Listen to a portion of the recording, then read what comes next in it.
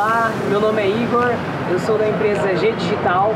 Há exatamente uma semana antes do evento eu deixei a minha área de atuação, que é da psicologia, e eu assumi uma nova missão de trabalhar nessa empresa gigantesca de automação é, de marketing digital.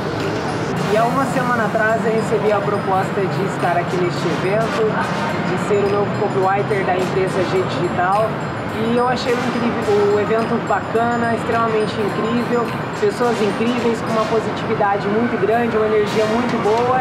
E é isso aí, avante!